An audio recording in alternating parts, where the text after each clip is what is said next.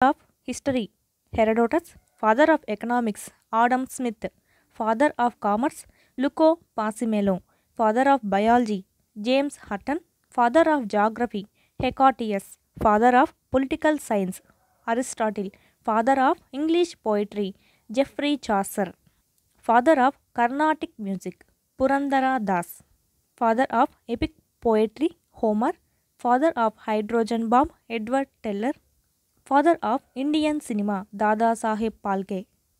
father of modern Olympics Pierre de Coubertin, father of nuclear power in India Homi Jahangir Bhabha,